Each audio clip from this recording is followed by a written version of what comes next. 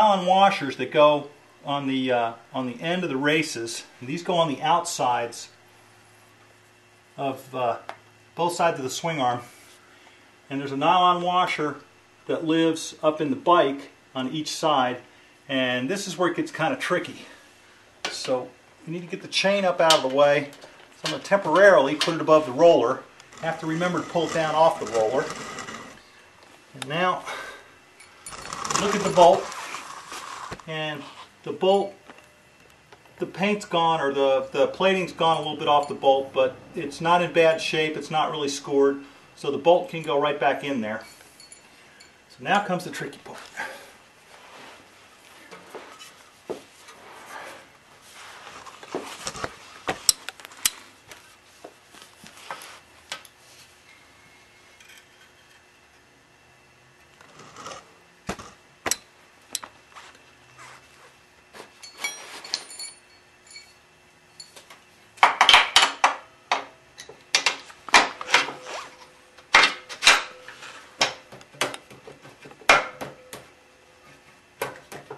Alright, so I got the bolt mostly in, but I want to stop and make sure that none of the washers came out.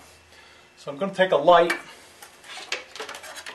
and look up in there and make sure that all my washers are in the right places.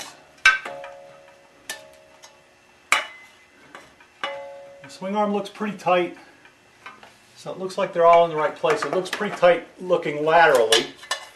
So now, all I need to do Keep the swing arm lined up and knock the bolt in. Now with the swing arm back in, I'll put the put the washer and the nut back on and then torque it. With the swing arm bolt in and the washer and the nut on it, now I'm now going to torque it to the proper torque spec. And you can measure it with a torque wrench or you can rely on experience if you think you know what you're doing. Go. All right, we're going to put the right hand link in first.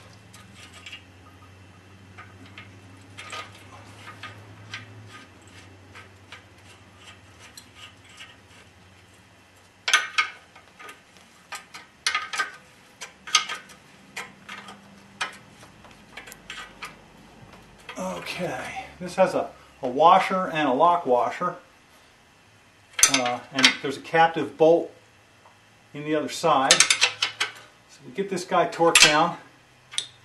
And you can see that even though it's torqued down, it's still, the bearing still has action. Then we'll take the other one.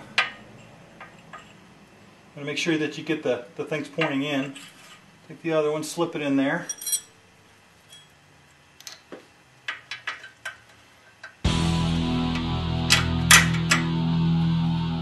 Bolt and the nut and the washer. Washer and the nut. And torque this down.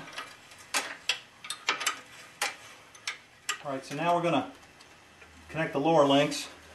To do that, we need to drop the swing arm back down where it's happy.